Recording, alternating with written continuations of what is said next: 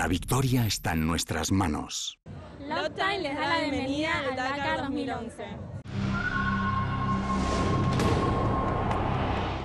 Quinta etapa hoy para los pilotos del Dakar, entre Calama e Iquique. Les espera una especial completa de 423 kilómetros en la que tendrán que adaptarse a diferentes terrenos. Tras recorrer pistas pedregosas en el inicio de la etapa, los corredores deberán atravesar un salar, antes de enfrentarse a un fuera de pista muy abierto de unos 100 kilómetros y completar el día con la bajada de Iquique, que tiene un desnivel medio del 32%. Seguro que hoy no se aburren. El primero en tomar la salida vuelve a ser Marc Coma y el español va a sufrir un inicio de etapa de auténtica pesadilla.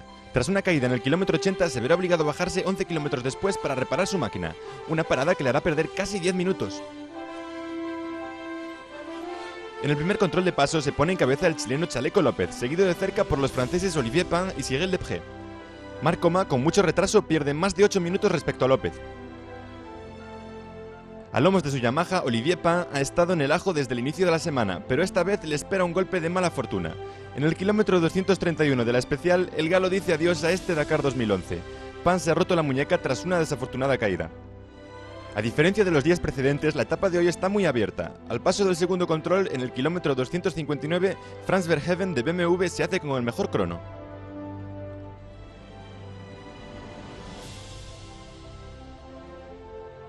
Pero al final de la etapa la victoria será para otro piloto de BMW.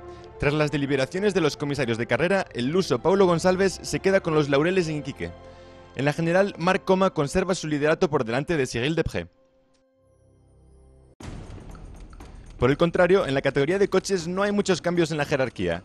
Carlos Sainz, Nasser Alatilla y Stefan Peter Hansel siguen un día más llevando la voz cantante en este Dakar 2011. Como en los días anteriores, los tres favoritos han dominado la jornada de principio a fin.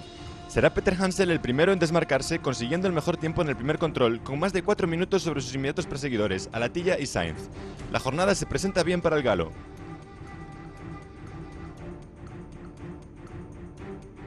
Todo sigue igual en el segundo control de paso. Peter Hansel sigue lanzado hacia la victoria de la especial, aunque Alatilla recupera algo de terreno y la distancia entre ambos se ve reducida a 2 minutos y 30 segundos. Al final, gran jornada para BMW, que tras la victoria de González en motos se alza también con su primera victoria en coches en este Dakar 2011 de la mano de Stefan Peter Hansel. Le siguen en la línea de llegada Nasser Alatilla y Carlos Sainz, que mantiene su hegemonía en la clasificación general pese a haber reducido su ventaja a solo 2 minutos y 26 segundos sobre Peter Hansel. El francés, por su parte, recupera la segunda plaza, 7 segundos por delante de Alatilla.